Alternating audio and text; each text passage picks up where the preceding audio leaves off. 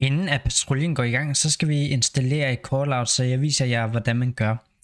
Så vi starter ud med Los Santos Red, og I trykker på download this file, agree and download, og så læser I, hvilken version der er. Så normalt så ligger de den som den øverste. I kan se, at den blev opdateret i mandags. Her er det lørdag, så det vil sige, at vi bare trykker download.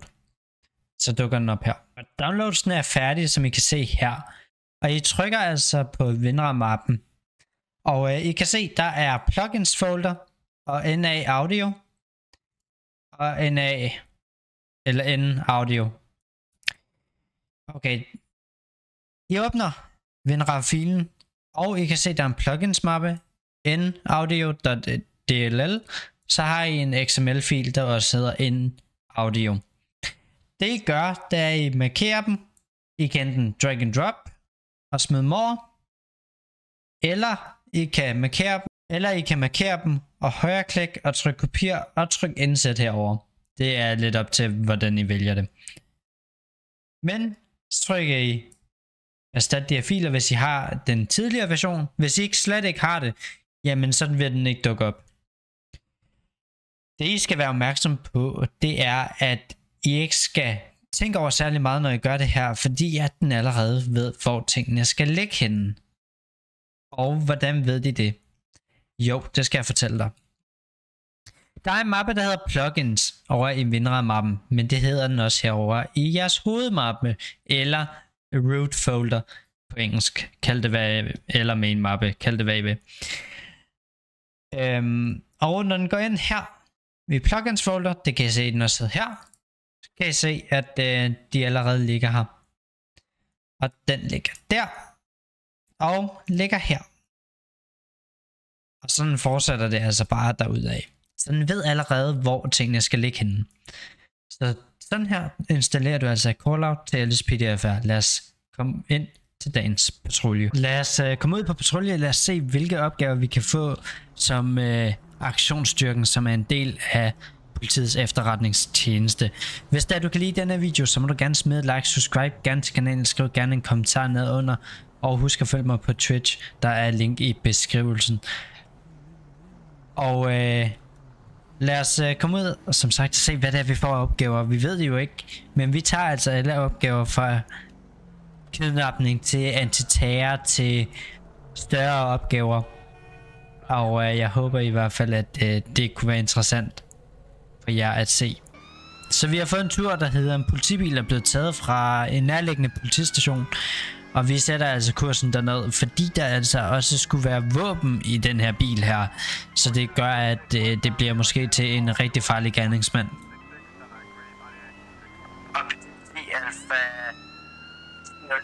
så er vi lige nærheden, og vi prøver at få fat i køretøjet. Alfa 1001.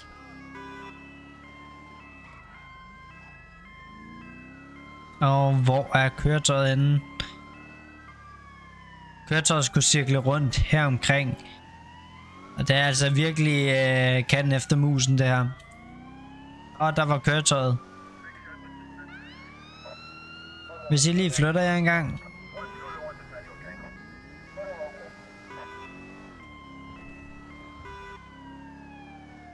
Og han kørte op til venstre. Fortsætter lige ud. Og vi er altså et hold på tre personer på den her opgave her, eller i den her bil.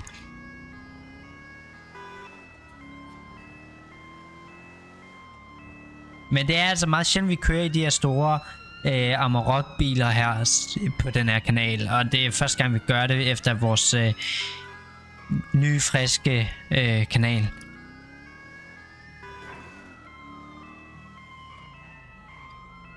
Og så kører vi sydvestgående Alfa 1001. Og de andre patruljer, de interagerer ikke med opgaven, fordi den altså er så farlig, som den er. Var det ham, vi lige så faktisk? Ups.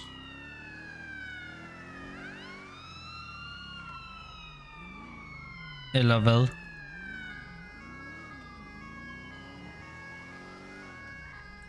Okay, det er altså sådan noget svært at jagte en, der har vores politibil. Det må jeg ærligt talt erkende.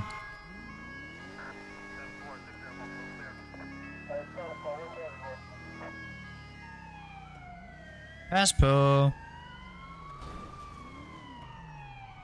Holder du ikke igen til siden i stedet for? Der var den. Hej. 1001, vi har kontakt med køretøjet, patrulje må deltage. Alfa 1001.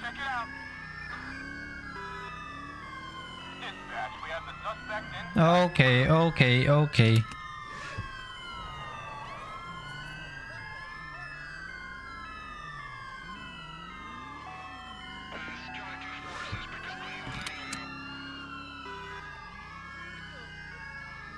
Han kører altså noget retarderet også, det må man sige.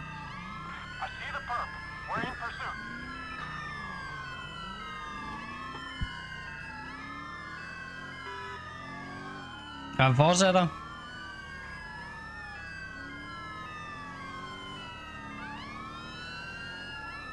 Hvis I lige flytter jer, flyt jer, flyt jer, flyt jer.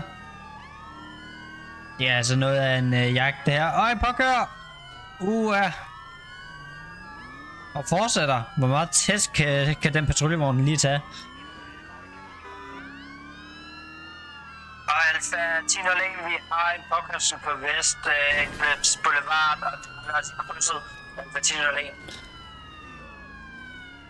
Okay, det går jo vildt for sig det her. Okay, motoren begynder at ryge på den.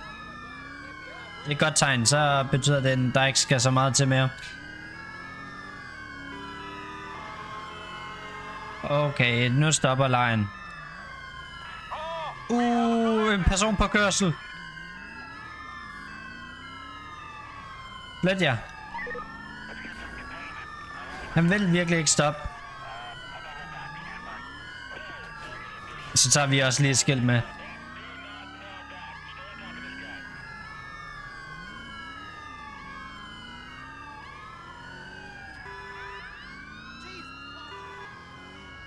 Og Alfa 1001, fører sydvestgående ud mod stranden på Del Perro.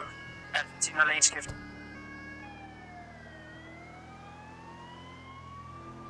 Og Åh, det bliver farligt det her. Nu er der alle andre mennesker involveret.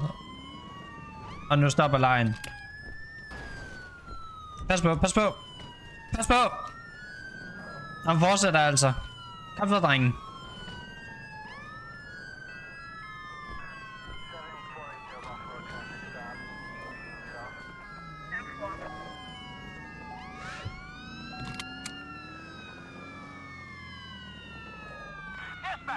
Okay, det er en kvinde lige frem. Åh, oh, her er en livlig bil. Og vi kunne lige komme rundt der.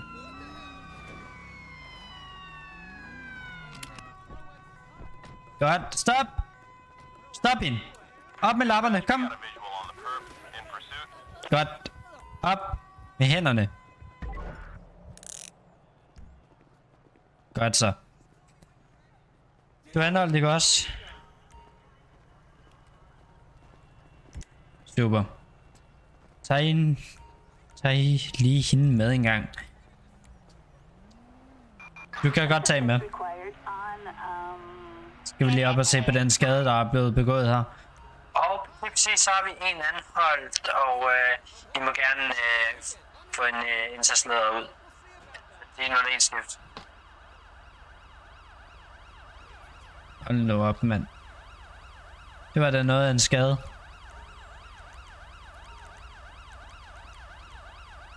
Ja, lad os uh, få de der bjørningskøretøjer væk. in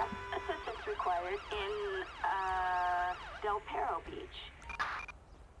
Og Alfa 1001, vi har nu færdiggjort øh, opgaven herude, og vi er let at få stedet. Alfa 1001 skift. Er du syg i hovedet, eller hvad sker der? Sindssyg kvinde.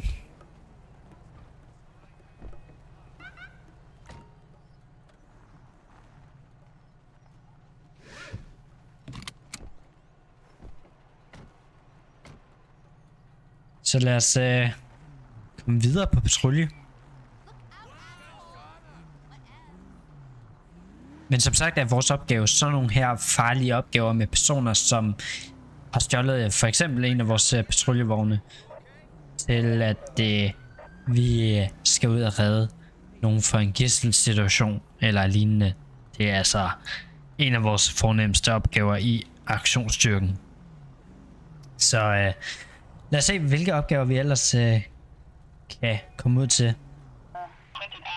Okay. Og Alfa 1001, det er modtaget. Vi øh, sætter kursen. Vi letter ned fra San Andreas Avenue hernede.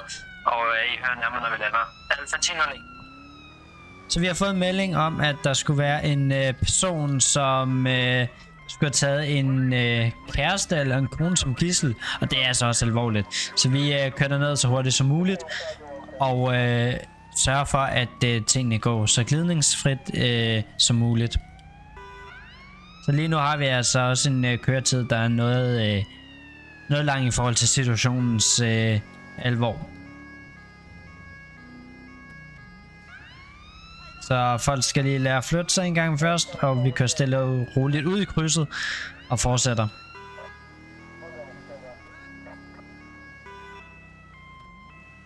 Og her signalerer vi altså, at vi skal forbi meget hurtigt.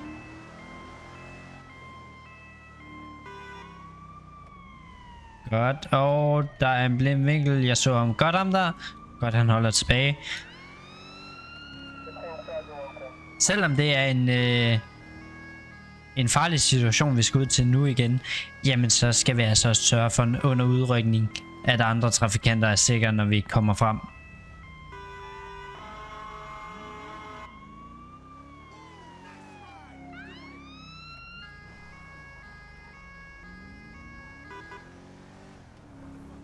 Godt. Hurtigt frem, hurtigt frem.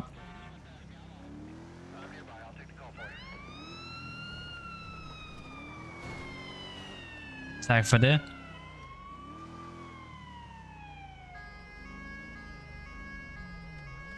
Tak fordi du flytter dig.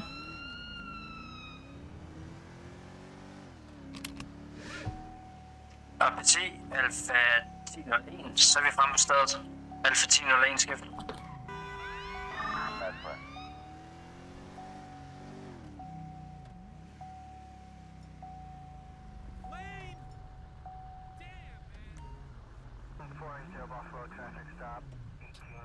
Kan vi ikke lige få dig væk også en gang?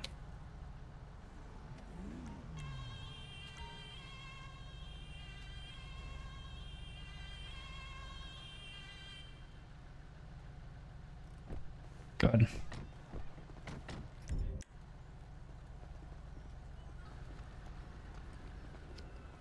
Vil du ikke uh, lige uh, stå stille en gang? Godt. Op med hænderne. Stå stille. Ja, prøv at... Det er så fint. Kom, op med hænderne. Kom, op med dem. Og vi har en anholdt. Alpha 1001. Er der andre i butikken? Få en derud. Hvor er hun henne? Hvor er hun henne? Godt, du er også. Vi har faktisk to gisler herinde. Ej.